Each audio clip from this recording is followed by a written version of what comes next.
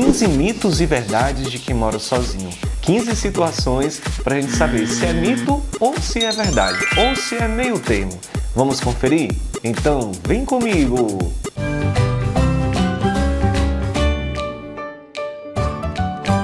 Olá, meus queridos, que alegria estarmos juntos mais uma vez aqui no YouTube para a gente conversar aqui no canal. Eu sou Thiago Fontinelli e aos domingos eu sempre trago aqui um tema, um vlog ou um assunto para a gente conversar, para a gente debater. Se você não é inscrito ainda no canal, eu lhe convido a se inscrever para você não perder nenhuma novidade que eu lançar aqui no YouTube. Eu já vou começar pelo primeiro. Pode ser que para você não seja mito ou seja verdade e para mim não seja. Então vai depender muito de cada pessoa, de cada circunstância, de cada situação que você vive, tá bom? Primeiro, quem mora sozinho é mais feliz meio termo. Pode ser que muitas pessoas moram sozinhas, mas sintam um vazio, uma tristeza por não ter ninguém ali morando com você. No meu caso, eu sou feliz por morar sozinho, né? Graças a Deus eu tenho aqui esse apartamento e eu sou muito grato porque eu posso estar no meu cantinho, no meu local e eu sou realmente feliz né, por estar aqui no meu cantinho. Mas tem muitas pessoas que não são felizes por morarem sozinhas, que precisam ter alguém do seu lado, precisam ter uma companhia e, claro, a gente precisa entender e respeitar cada pessoa e cada circunstância que ela passa. Quem mora sozinho tem mais liberdade. É verdade. Ter mais liberdade de comprar aquilo que você deseja para sua casa, para o seu apartamento, ter mais liberdade de escolher a decoração do seu local que você mora, ter mais liberdade de você escolher o tipo de cor que o seu apartamento ele vai ser pintado. Por exemplo, aqui é branco, é uma cor que eu gosto, né? Eu me sinto bem nessa cor branca, uma cor que me dá paz, me dá tranquilidade e eu sou mais da cor, mais cores brandas, né? Cores mais minimalistas, um bege mais claro, então eu gosto mais desse tipo de cor para o meu ambiente. Mas depende muito da liberdade da escolha de cada pessoa. Então, quem mora sozinho tem mais liberdade? Sim, verdade, tem mais liberdade. Quem mora sozinho tem mais responsabilidade? Verdade porque você precisa estar atento às suas contas. Quem mora sozinho vai ter que chegar a conta de água, chegar a conta de luz, da sua internet, os seus gastos mensais com a alimentação. Quem mora sozinho tem que se preocupar com o seu ambiente, se quebrar alguma coisa da sua casa, do seu apartamento, por exemplo, parte elétrica, da energia, ou mesmo fogão, ou a geladeira que precisar trocar o gás, ou quem tem ar condicionado também fazer a manutenção, tem responsabilidades, responsabilidade de pagamento. Também é necessário ter nesses casos uma reserva de emergência, porque a gente nunca sabe o momento que a gente vai acontecer alguma coisa, alguma eventualidade e você precisa ter ali um dinheiro guardado para você, na emergência, né, quando bater uma emergência, você ter como resolver aquela situação. Morar sozinho é mais caro? Mito e verdade. No meu caso, para mim, Tiago, é um mito, porque morar sozinho, dependendo muito da realidade da pessoa, das condições e do estilo de vida da pessoa, morar sozinho não é tão caro.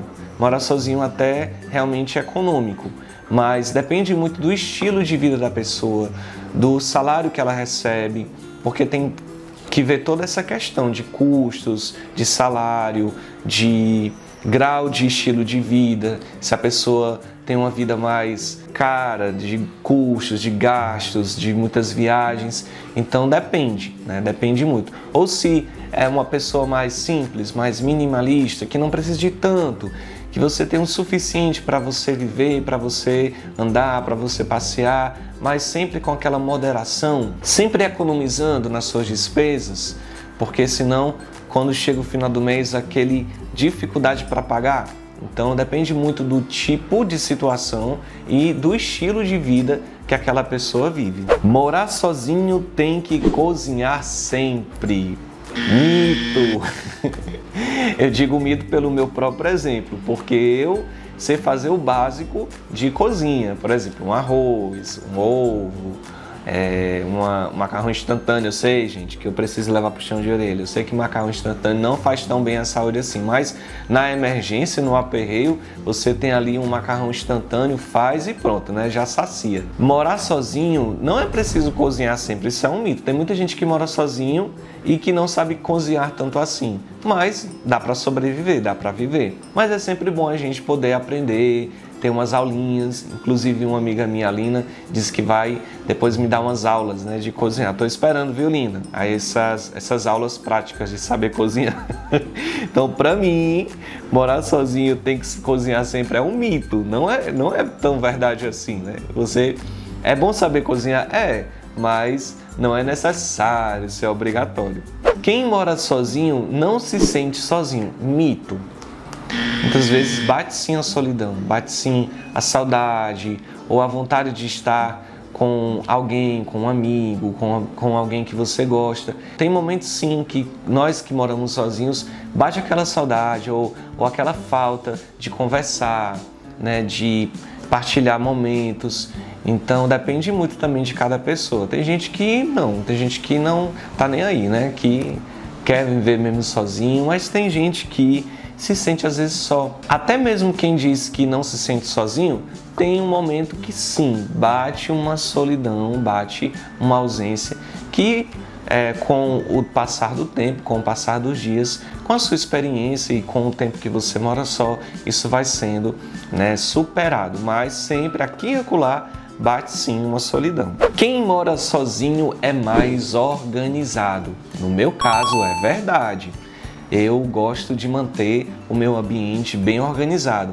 Meu apartamento eu gosto sempre de manter ele limpinho, organizado, né, sem empilhar muitas roupas, deixar acumulado para lavar.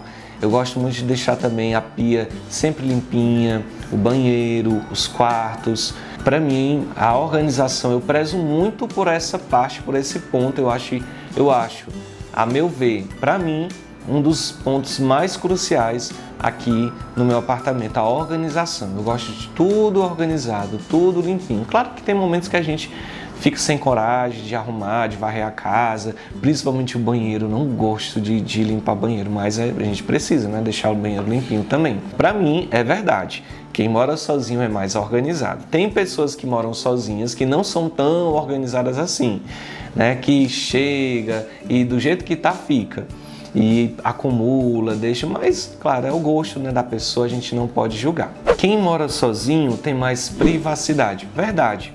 Tem muita gente que gosta muito da sua privacidade, chegar em casa, ficar com aquele, aquela roupa que é de muitos e muitos anos que você usa, toda furada, toda rasgada. E tem gente que não gosta nem de roupa, né? De usar roupa quando tá dentro de casa e mora sozinha. Mas depende muito de cada pessoa. Eu normalmente gosto sempre de estar tá usando minhas camisas regatas, acho que é assim que se chama, que é as camisas assim, né? Eu não gosto de ficar sem roupa é, sozinho quando eu tô em casa. Eu não, assim, é de mim, eu não gosto, né? Mas tem muita gente que quando chega realmente fica do jeito que nasceu a vida, do jeito que veio pra vida, né? Mas isso depende muito do gosto, do estilo de cada pessoa. Então, realmente é verdade. Quem mora sozinho tem mais privacidade. Morar sozinho é uma escolha. Mito e verdade. Depende. Por exemplo, tem muita gente que mora sozinho porque vai estudar em outro estado ou porque recebeu uma proposta de emprego para um outro local, para outra cidade, estado ou país e não foi uma escolha dela morar sozinha, foi uma, uma realidade, uma necessidade que ela precisou se readaptar para viver aquela situação, aquela nova realidade de vida. E tem muitas pessoas que realmente é uma opção, né? é uma escolha que por mais que tenham pais que moram na mesma cidade, por exemplo, eu tenho meus pais, né? Mas eu decidi, eu escolhi morar sozinho porque eu queria ter o meu cantinho, né? O meu local, o meu apartamento. Então, no meu caso é verdade, né?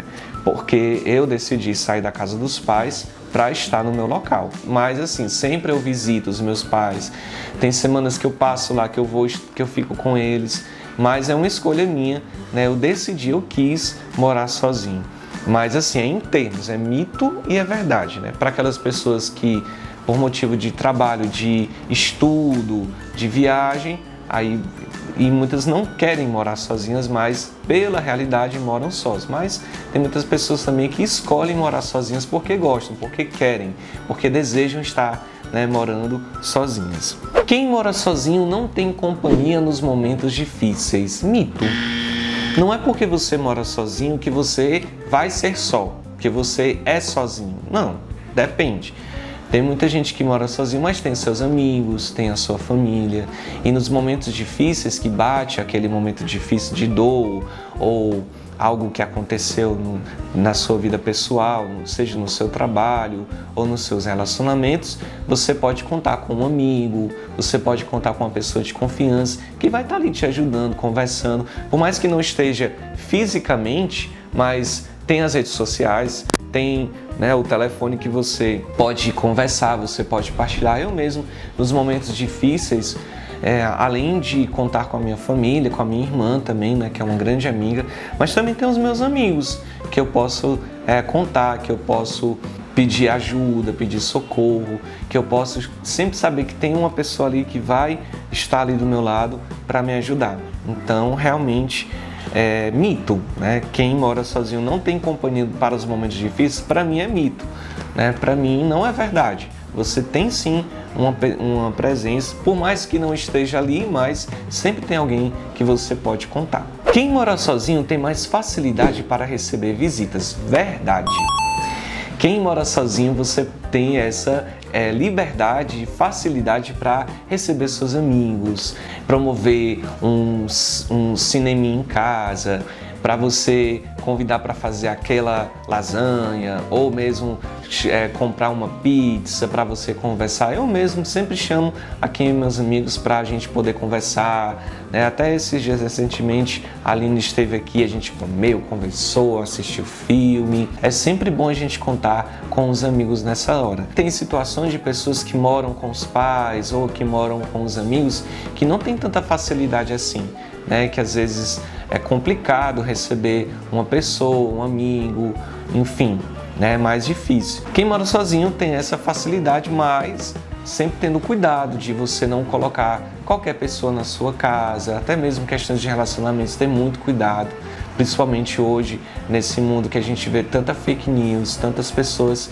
que é, fazem o mal. Você precisa ter muita cautela, muito cuidado com quem você coloca na sua casa, o tipo de pessoa que você vai se relacionar ou a pessoa que vai estar no seu local, para depois não ter nenhuma consequência. Mas, claro, se você já tem essa consciência e se você recebe seus amigos, é muito bom, gente, é bom demais. Eu mesmo gosto muito de receber os meus amigos aqui no meu apartamento. Morar sozinho é mais perigoso. Mito e verdade. Por que mito?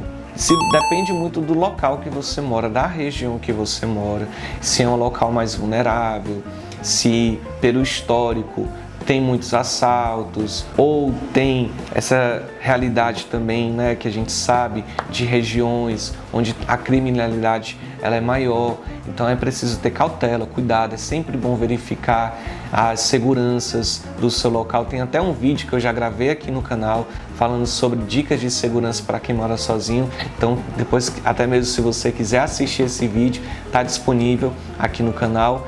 É sempre bom verificar a segurança do seu ambiente, do seu local e, e né, a região, conhecer bem os horários, é, as pessoas que moram ao redor, para você se manter mais seguro. Depende muito de como você vai é, cuidar da sua segurança. É importante a gente ter esse olhar redobrado na segurança. Quem mora sozinho tem mais tempo para si mesmo. Mito. Tem pessoas que por mais que moram sozinhas, mas a vida é tão agitada. A minha própria irmã mesmo mora sozinha e ela, a vida dela é totalmente preenchida com trabalho, com estudos. Eu já sou mais tranquilo, né? Eu trabalho, chego em casa, então tenho um tempinho mais para descansar, para assistir YouTube, que eu gosto muito de assistir YouTube, ver os canais.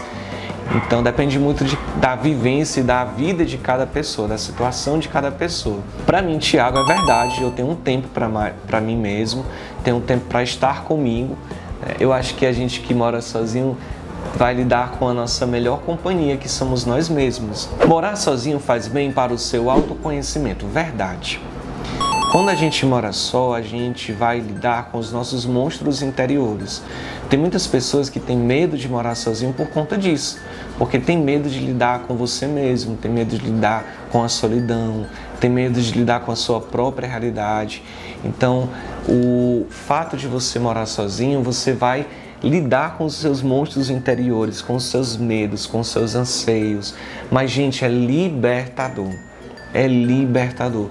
Ah, se todo mundo, até mesmo quem namora, quem né, já vive uma experiência, pudesse na vida fazer uma experiência de morar sozinho, para você ver como é libertador você o autoconhecimento, você se conhecer mais, você buscar saber mais dentro de você mesmo a sua essência. Então quem mora só tem essa oportunidade, só não tem oportunidade quem não quer, porque quem mora sozinho tem lida muito com essa oportunidade de você se autoconhecer. E o último, quem mora sozinho é mais independente. Mito e verdade. Tem muitas pessoas que moram sozinhas, mas que ainda dependem da família para você sobreviver, seja para pagar o aluguel do seu apartamento, seja para complementar a sua renda, seja para você que tem um curso ou faz uma faculdade, que a família ajuda. Por mais que o seu salário, por mais que você trabalhe, mas aquele seu salário não complementa a sua renda. E tem muitas pessoas que não trabalham, mas moram sozinhas, que dependem da família. Depende muito de cada circunstância, de cada realidade de vida. Mas no meu caso, realmente é, mais independência, você ganha uma independência maior. Principalmente quem trabalha, você tem essa independência financeira. Você tendo o controle dos seus gastos, você sabendo é, gastar bem, economizar bem e ter todo esse controle financeiro, realmente você é mais independente. Mas depende muito de cada circunstância. Então, esses foram os 15 mitos e verdades de quem mora sozinho. E você, alguma situação dessas você concorda? Você discorda? Eu quero contar com a sua participação. Então escreve aqui no comentário. Eu vou ter a alegria de poder conversar com você sobre o tema de hoje. Quem assistiu até o final, você vai colocar a palavra independência. Então escreve aí, independência. E eu vou saber que você assistiu até o final e eu vou lhe dar ó, aquele coração no seu comentário. Quem não é inscrito, se inscreva no canal para você conferir todas as novidades que eu lançar aqui no YouTube e não se esqueça de ativar o sininho na opção todos para assim você receber todas as nossas notificações quando eu lançar um vídeo aqui no YouTube. E claro, deixa o seu like, porque o like ele ajuda muito quando você dá o like no vídeo, você indica para outras pessoas que não são inscritas conhecerem este canal. Então, se você gosta de mim e se você gosta desse canal, deixe o like no vídeo. A você um grande abraço e a gente se encontra no próximo vídeo.